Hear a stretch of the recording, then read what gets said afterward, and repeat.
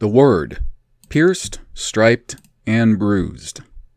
An Obry Projekt presentation by Jonathan Machtemes. The following presentation was written for an audience who may have no concept of the distinction of Obry from Hebrew. Those who are more familiar will find some of it repetitious, but repetition is one of the best tools of learning. This presentation at this point has gone through many drafts. The chief reason for this are the complexities of the situation and materials, and how to adequately relay the problem. This is especially compounded when one such as myself has come to understand the language called Hebrew in such a radically different way. Yahweh has become Yahweh. Yeshua Jesus has become Yusho. Elohim, Aliyim, and so forth. So please bear with me as I do my best to present an English audience concepts concerning Masoretic Hebrew from an Obry understanding, if that makes sense. If not, let me explain further. Obry is the title I've given to a language without all of the Jewish influence that Hebrew has. Obry is a word consisting of four successive glyphs combined, meaning of Ober, or in Masoretic, Eber, the father of Peleg and the patriarch, most likely at Babel in Genesis 11. They are, in fact, the very glyphs the old non Israelite scribes and Masoretes used and distorted via their vowel points and altered script face to arrive at the word Hebrew. Many of the terms have been altered as well, so attempting to illustrate the problems with Masoretic Hebrew, or just Hebrew, which I've come to call Jewbrew, while using their terms on their playing field, is a bit moot. I will, however, do my best to illustrate some of the problems that I hope best illustrate the current state of the text without too many foreign terms to an English audience. I'll also not be spending any time on other texts, such as the Septuagint, Samaritan Pentateuch, or Vulgate, as these texts tend to agree with only some parts of the various Hebrew manuscripts and do not always agree with one another. My aim is to stay just within the so called Hebrew text. Let it be known that I do not now or ever claim to be an expert in quotes in linguistics or grammars. I do not claim to be an expert in anything. What I am is a German slash Celt with a rough past who has had grace given to me this grace has caused me to treasure the Scriptures above all manner of works possessed by a creature such as man. I'm enthralled by the Scriptures, and because of this, I have a great desperation to know their author and exactly what he was communicating, that I may hope to walk with him as best as I'm able.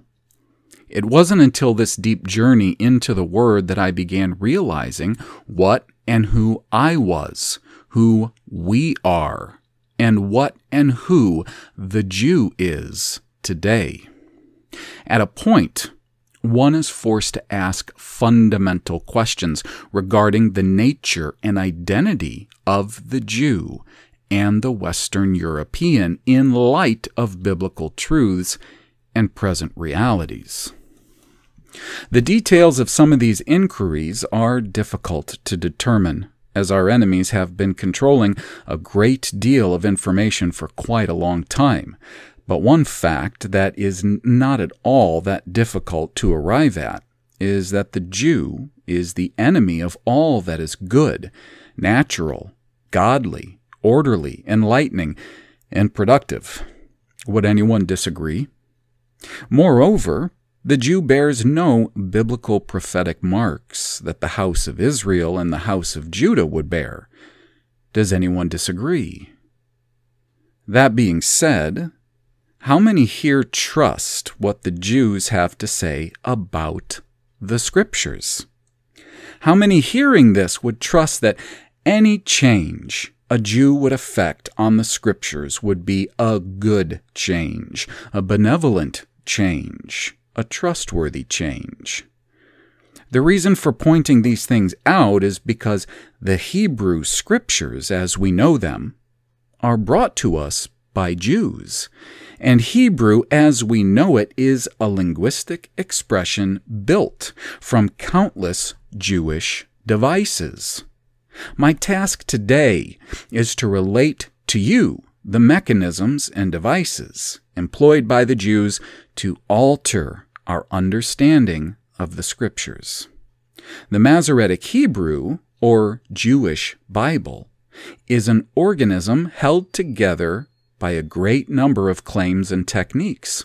Among these are the letter, the underlying assumptions, the vowel points, the scribal traditions, the orientation, the notes, the pericopes, the verses, the abbreviations, the recensions, the undocumented claims, the random anomalies, the fairy tales, and the lies. That doesn't cover it all, I'm afraid, and unfortunately, time will not allow me to dive very deeply into these concepts that weave their way throughout Scripture, driven by centuries of animosity. So I will instead talk about a few of them and hopefully dispel some of the nonsense we've all been made to accept, typically through our once trusted authorities. The glyph. Let's begin with the letter itself, or as I call it, and I believe more precisely, the glyph. Mar Ukba, a celebrated chief judge of the Jews in the 3rd century AD, said, quote, At first, the Torah was given to Israel in Hebrew characters and in the sacred language, but in the time of Ezra, they obtained it in the Assyrian square characters and in the Aramaic language. At last, the sages chose the Assyrian square characters and the sacred language for the Israelites, and left the Hebrew characters and the Aramaic language for the idiots. Even though there is no proof whatsoever that Ezra had anything to do with changing the glyph itself, Ukba reveals a very important detail. The, quote, letters, as they call them, or the Hebrew character, as we know it today, is Ma'ashur, or Assyrian. Would this line up with any biblical information? It does, with 2 Kings 17 24 through 33 from the KJV adjusted and expanded as needed. Quote, and the king of Ashur Assyria brought men from Babel, Babylon, and from the area of Kut, and from Awa, and from Hamat, and from Sepharwaim, and placed them in the cities of Shimron, or Samaria, instead of the children of Israel. And they possessed Shimron, and dwelt in the cities thereof. And so it was at the beginning of their dwelling there, that they feared not Yahweh. Therefore Yahweh sent lions among them, which slew some of them. Wherefore they spake to the king of Ashur, saying, The nations which thou hast removed and placed in the cities of Shimron know not the manner of the God of the land. Therefore he has sent lions among them, and behold, they slay them, because they know not the manner of the Alayim God of the land. Then the king of Ashur commanded, saying, Carry there one of the priests whom ye brought from there, and let them go and dwell there, and let him teach them the manner of the God of the land. Then one of the priests whom they had carried away from Shimron, came and dwelt in Bethel, and taught them how they should fear Yahweh. Howbeit, every nation made gods of their own, and put them in the houses of the high places, which the Shumranim, or Samaritans, had made. Every nation in their cities wherein they dwelt. And the men of Babel made Sekut Banut, or brothels, and the men of Kut made Neragal, pilgrimage, and the men of Hamat made Ashima, fiery cauldrons, and the Awim made Nibhaz, or vision quest, and Tartak, or mutilations, and the Sepharwim burnt their children in the fire to Adremelech, the king of procreation slash spring, and Anemelech, the king of humiliation, the gods of Sepharim. So they feared Yahweh and made unto themselves of the most undesirable priests of the high places, which sacrificed for them in the houses of the high places. They feared Yahweh and served their own gods, after the manner of the nations whom they carried away from thence. Unfortunately, there isn't time to unpack and expound upon all the obvious translator generated confusion intentionally inserted into that passage. But relating to that quote from Ukba, there is an interesting aspect to the Jewish word Mazorah or Masoret, and that is their arbitrary alterations of the phonetics of the Sha, which is the 21st glyph in the Obri alphabet or glyph set, thus easily deriving Asura from Ashura, meaning Assyrian like. Adding the prefixed M, making a concept an instance of a noun, we arrive at Ma'ashere or Masura. Thus, the title of the Masoretic text. Now, even though we have no scriptural evidence of Ezra or any Israelite altering the text in any way, we know these people, brought from Assyria or Asherah before Ezra's time, had mixed with and formed alliances with our ancient neighbor adversaries and had deluded themselves to the point of believing Yahweh was indeed their God. This from Ezra 4 1 through 4. Quote, now, when the adversaries of Judah and Benjamin heard that the children of the captivity builded the temple unto Yahweh, God of Israel, then they came to Zerubbabel and to the chief of the fathers, and said unto them, Let us build with you, for we seek your God, as you do, and we do sacrifice unto him since the days of Esarhaddon, king of Ashur, which brought us up here. But Zerubbabel and Jeshua and the rest of the chief fathers of Israel said unto them, You have nothing to do with us to build a house to our God, but we ourselves together will build unto Yahweh God of Israel, as King Korush or Cyrus, the king of Paris, Persia, has commanded us. Then the people of the land weakened the hands of the people of Judah and troubled them in building. In addition, there are the words of Asaph the seer and psalmist, who wrote in Psalm 83 3 through 8, quote, They have taken crafty counsel against thy people and consulted against thy hidden ones. They have said, Come, and let us cut them off from being a nation, that the name of Israel may be no more in remembrance. For they have consulted together with one consent, they are confederate against thee. the tabernacles of Edom and the Ishmaelites, of Moab and the Hagarenes, Gebal and Ammon and Amalek, the Philistines with the inhabitants of Tyre. Asher also is joined with them. They have helped the children of Lot.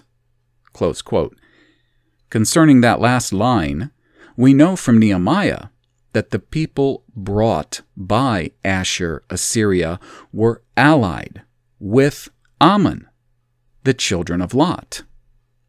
We also know from Scripture that no change in the form of the text, nor any of the 66,000 variations existing even in Yusho Jesus' day, as in both his time and that of the apostles, not one of them had to refer to which text they are citing, be it with a different character, a variation in form, or a different language.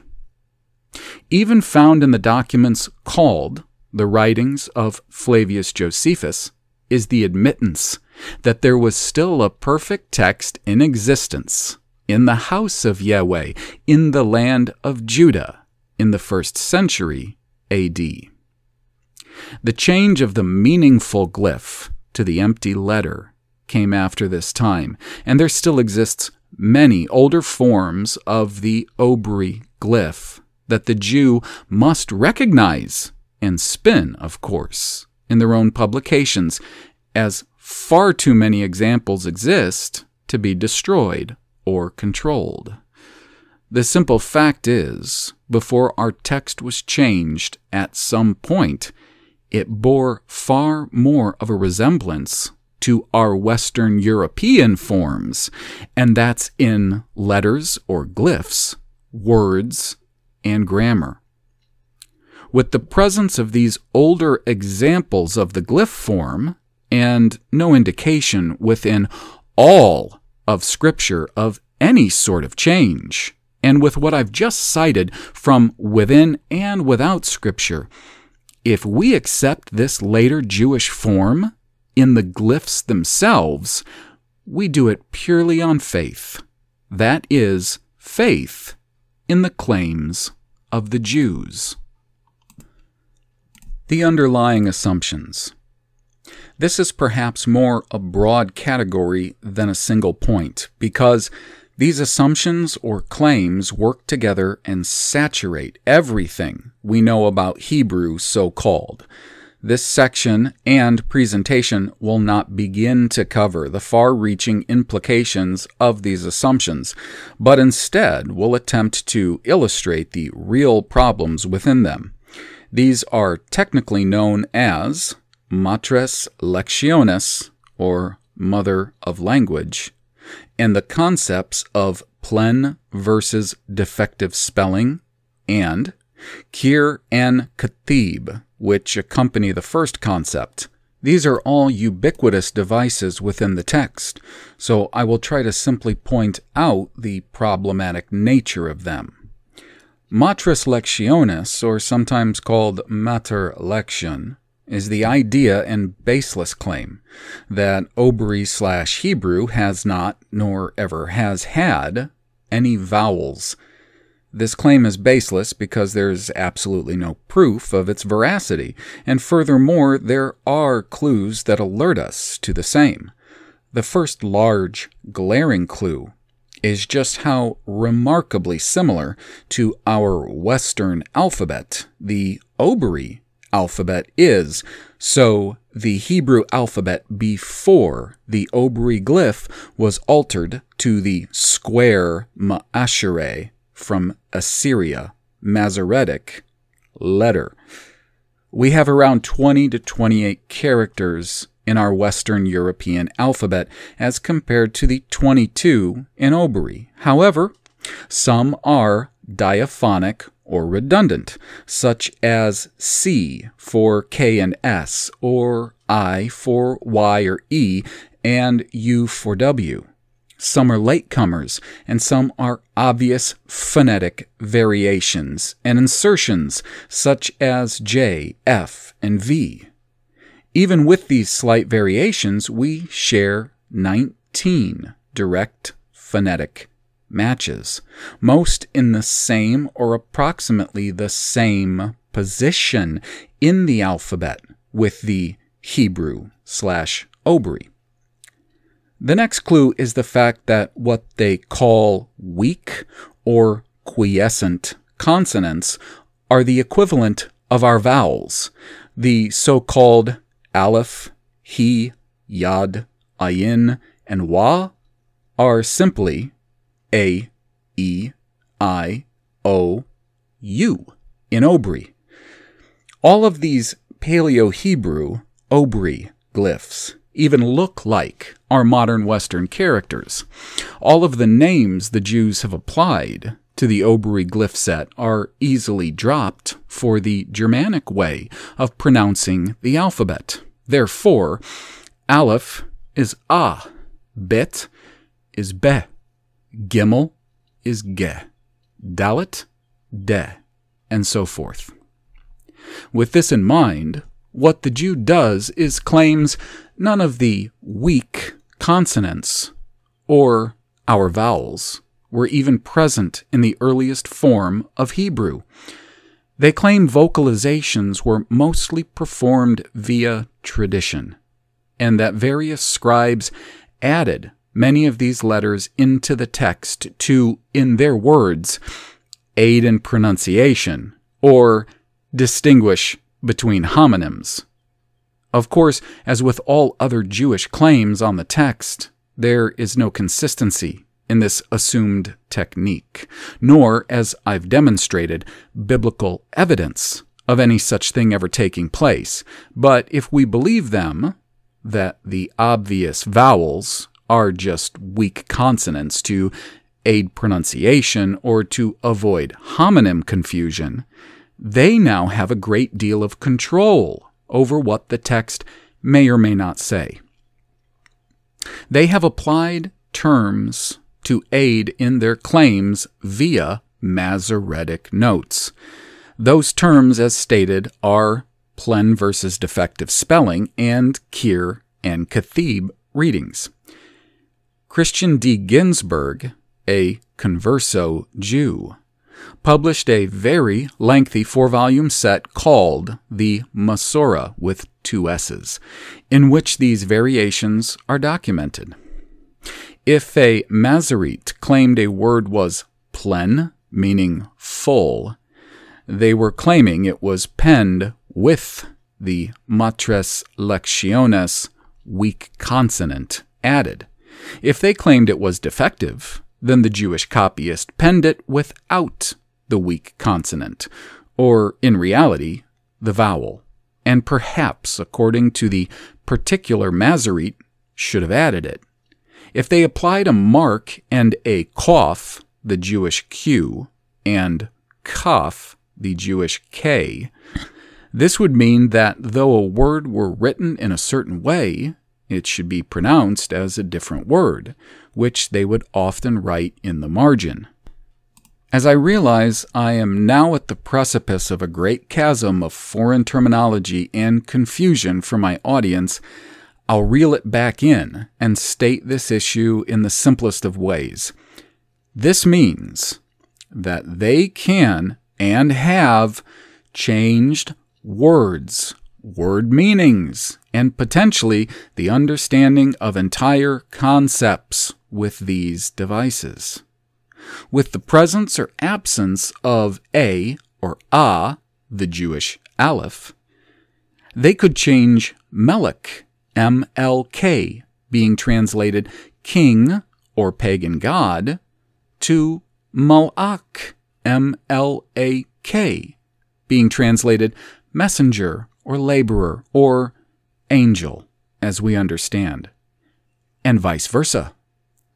They could change bar, B A R, being translated well, spring, pit, to bar, B R, being translated sun, air, pure, clean, field, grain, or potash, and vice versa.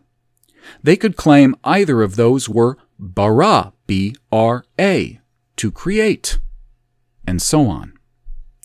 with a variation of e or e, that's the Jewish he, they could make something feminine masculine and vice versa.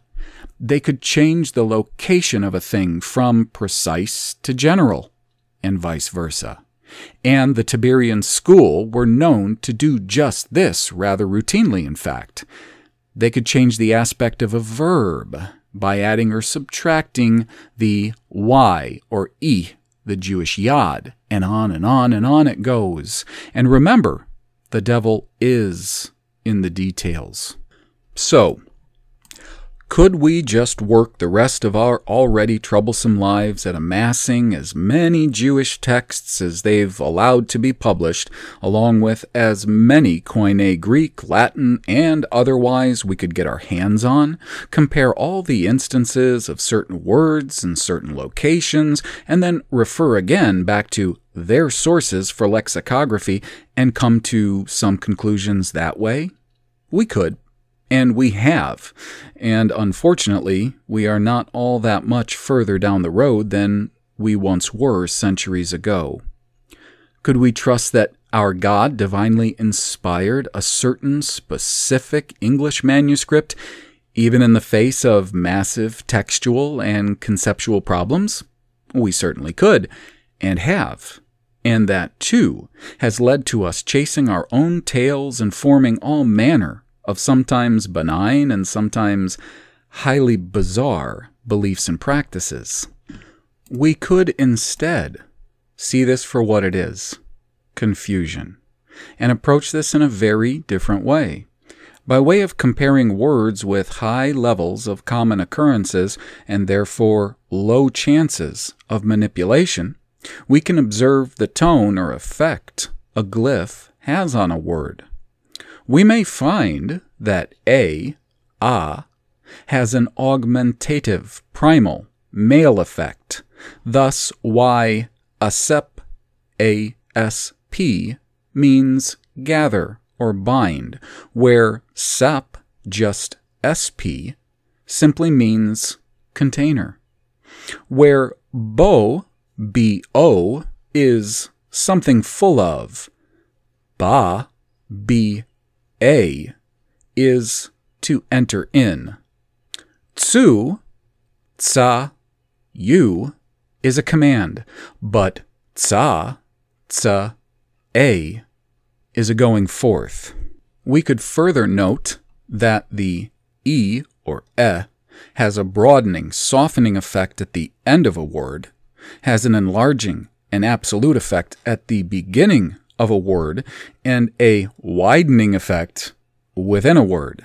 Therefore, why Yahweh changed Abram's name to Abraham, thus broadening his production with the E inserted within the rem syllable, A B R E M. And he changed Cherie or Sarai's name to Shereh with the end E, becoming Sarah as we know it, thus softening the name of a woman hardened by her years of barrenness. We may see that the E or Y is a masculine force or will. It changes a thing to an action. Amor, A M R, word is Eamer, he spake. It possesses. Thus, obry, O B R Y, is of ober.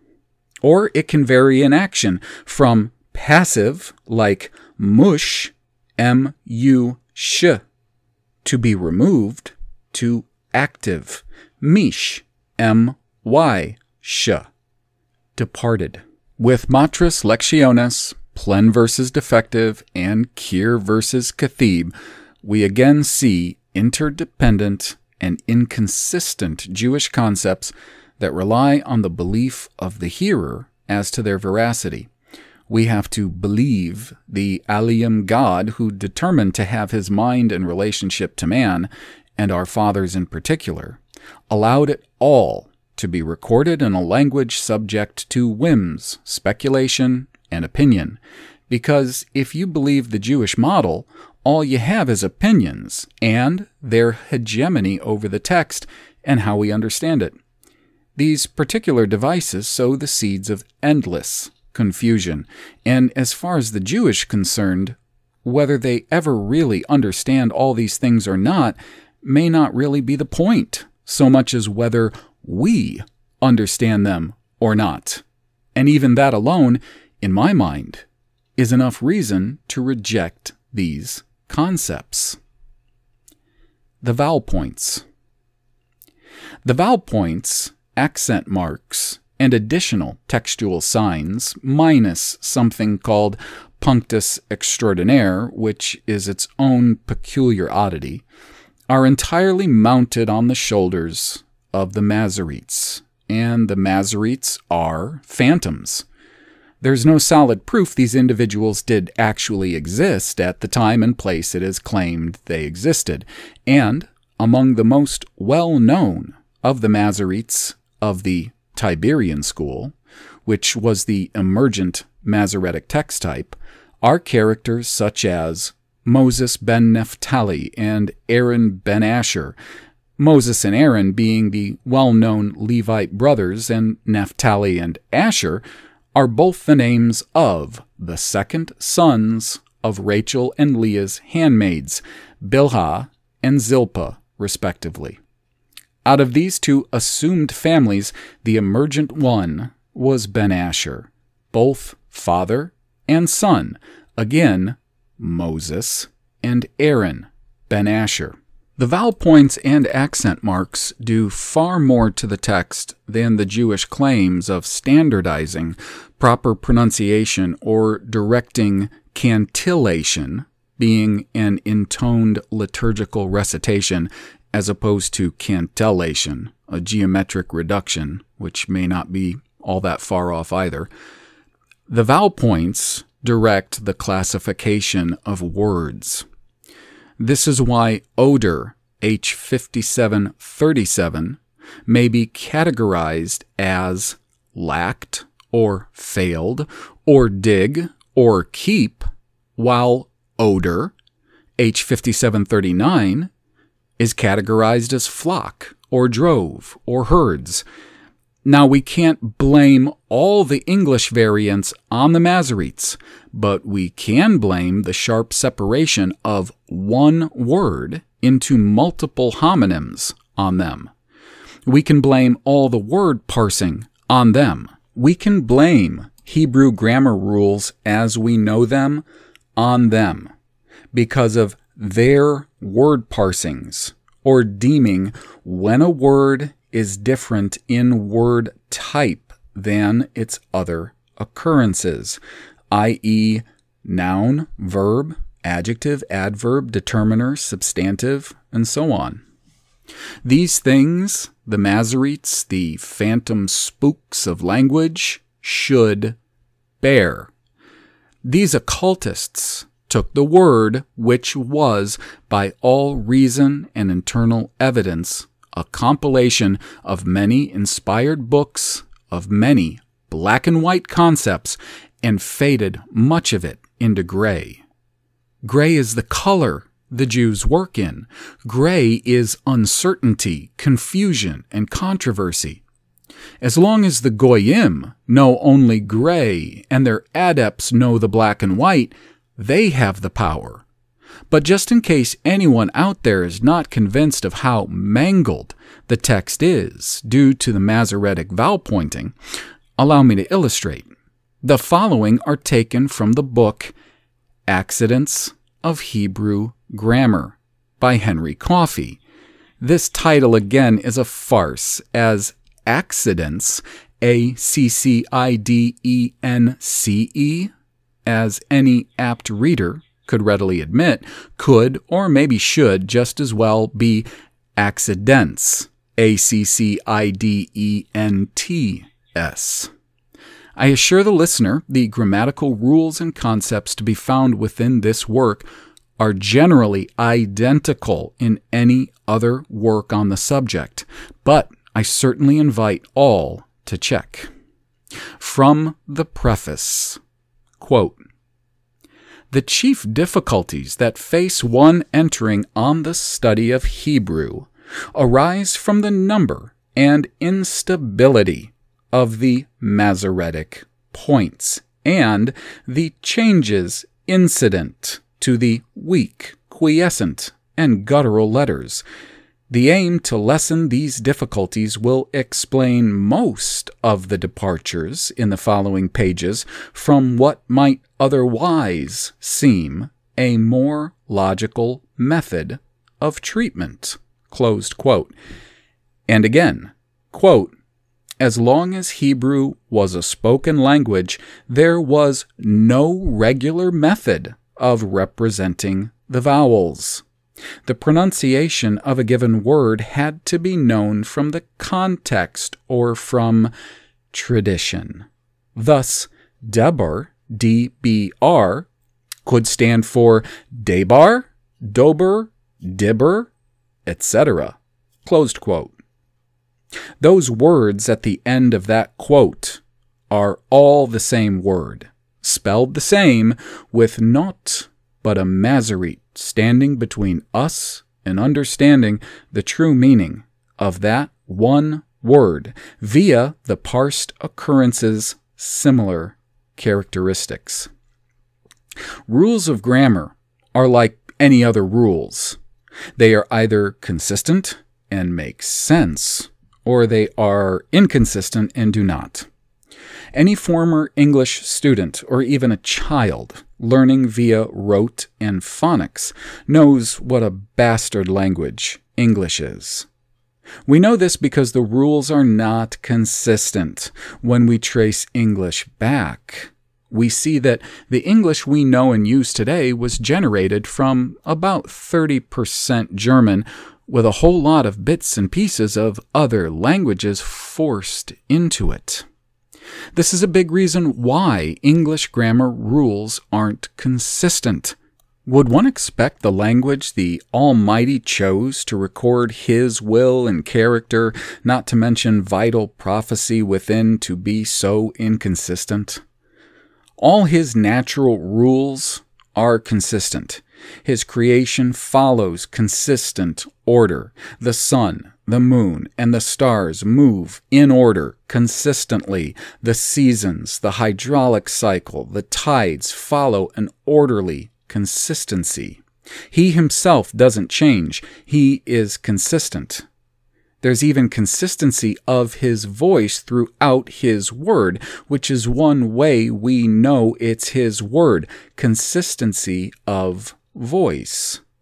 Would he then, do you suppose, choose to hand down all his word to us that he saw fit for us to retain in a language form as radically inconsistent as Masoretic Hebrew?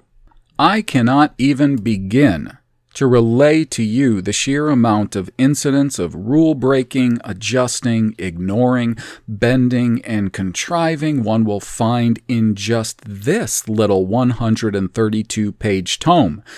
But here are just a few examples within the first 10 pages. Page 4, concerning full or plen and defective writing.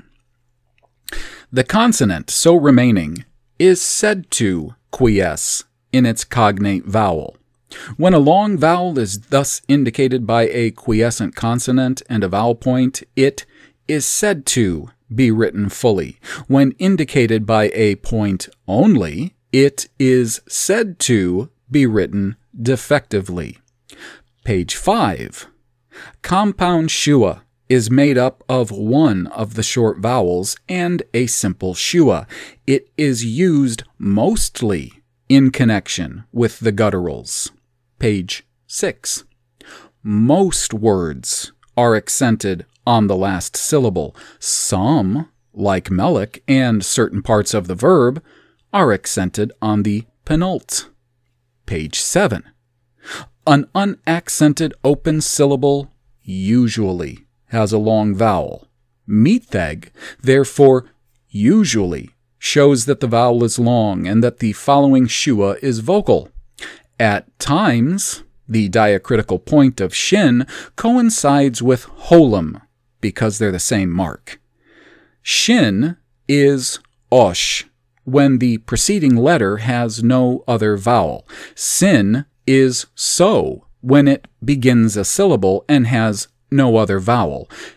The sin shin is show when it begins a syllable and has no other vowel. It is os when it is in the middle of a word and is followed by a vowel. It is as at the end of a word or syllable. Wa with the holum is wo when a vowel precedes. It is ow when a vowel follows. Shurek, which is wa with a dot at the middle left, with a vowel preceding and following, is wa with dagesh forte. Otherwise, it is shurek. An accented syllable, whether open or closed, may have a long or short vowel. And on page 10, the construct infinitive is usually the base of the imperative and imperfect. How would you like the people making our laws to be that inconsistent? Oh, wait, they are. Who do you suppose is making our laws? Again, I must stress that was in the first 10 pages where there are a lot of blank gaps therein and before things begin to get really complicated. Is this the language form you're ready to put your faith in? Because again, faith is what's required here and plenty of it. Blind faith, in fact. To further inform you on just how radically inconsistent Masoretic Hebrew and its rules are, I compiled a list of variant type words used in just the first 50 pages, consisting of in case, should be, loses, deprived, added, inserted, liable, some, sometimes, certain, often, ordinarily, irregular, change, replace, whenever, omission, transfer, dropped, so far as, instead, rearrangement, compensate, and many ifs and buts. This is the Masoretic style. These are the Masoretic rules. These are what we are basing much of our understanding of the Bible off of confusion, insecurity, debatability, abstractions, indeterminations, lack of qualification, and downright arbitrary classification. And if you're still unsure as to whether or not to trust Masoretic Hebrew as a viable grammatical foundation, have I mentioned the Masoretes phantoms or not, and all the masses of commentaries and biblical literature surrounding, defending, and developing their system are indeed and unmistakably Jews. In summation, as you can see, just covering the broad stroke points of three out of the many issues with the Jewish textual tradition has taken up a good deal of time. Any one of the points I mentioned earlier could be expanded on into a presentation far longer than this. Therefore, I will unfortunately not be able to discuss the scribal traditions, the orientation, the notes, the pericopes, the verses, the abbreviations, the recensions, the undocumented claims, the random anomalies, the fairy tales, and the lies. But I would like to conclude this with my thoughts on Hebrew, Jewbrew, those who control and perpetuate it, and our responsibilities. There are a lot of different opinions on who exactly the Jews are. Some believe they are apostate Israelites who God has rejected. Others believe they were once Israelites slash Judahites who mixed ad nauseum with other races until they were unrecognizable to their long lost distant kin, us. Still others believe them to be more direct descendants of Esau Edom, bearing the negative connotations and prophecies Esau's children bear from Scripture. I, however, don't entirely subscribe to any of these beliefs, though I do believe the blood of Esau flows in their veins. I believe the blood of Cain, Ham, Japheth, Canaan, Ishmael, Esau, Amalek, Moab, Ammon, along with Asher, Assyria, Elam, the Chaldeans, and other peoples who surrounded us and were ever at odds with us, and who knows who else and what else flows in their veins. There is, for whatever reason we shall one day fully understand, a murderous animosity extant from the Jew towards us. This, by their actions and writings, is undeniable. There's also a very clear disrespect from this people towards all of the creation and creatures in it, not to mention an arrogance towards the Creator himself and his order.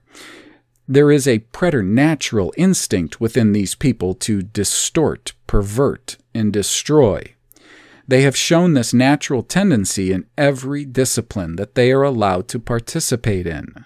They will and have taken every single pure concept and derided it, debased it, defaced it, and remade it according to their own twisted desire. Tikkun olam, to heal the world. But that so called healing only comes after they've destroyed. They are a blight on our institutions, but not for nothing.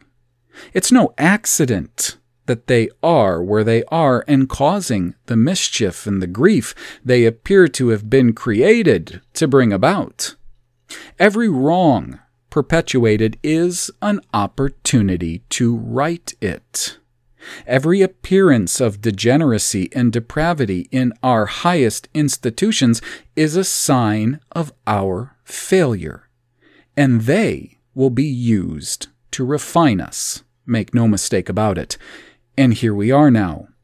We find ourselves in a world of gray, gray science, gray law, gray politics, gray religion, gray history, gray morals, and gray scriptures. And yes, they are gray. They're very gray. If not, we'd not have thousands of denominations, hundreds of traditions, dozens and dozens of worldviews under just the umbrella of Christianity. The scriptures are gray, but that doesn't mean they have to stay that way. The Spirit of the living God resides in His people. His Spirit knows His Word. He can do anything He chooses at any time. He has chosen a people to put His name upon. He has chosen a people to bless and try and test, one that would be a blessing to His creation. Is that the Jew? Does the Jew bless anything? Most hearing this know the answer to that. Most who will hear this know who bear the marks of Israel. Israel was tasked with keeping, guarding, and preserving and perpetuating Yahweh's laws, his character, his institutions, his prophecy, and his will. But in order to act, we must identify the problem. I hope I've demonstrated enough of it to at least direct the mind of the listener in the appropriate direction.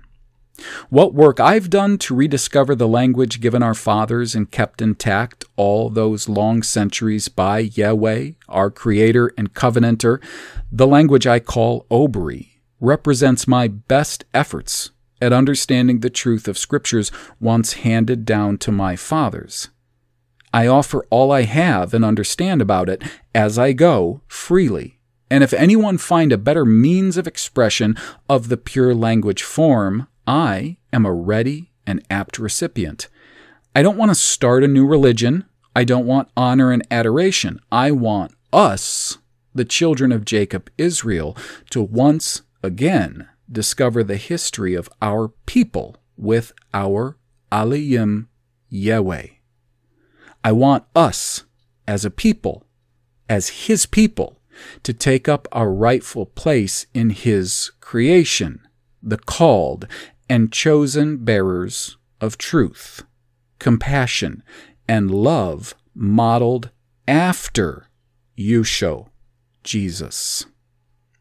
I offer all I have and all I can for the consideration, criticism, and hopefully edification and advancement of not our cause, but our duty, our destiny, and our birthright.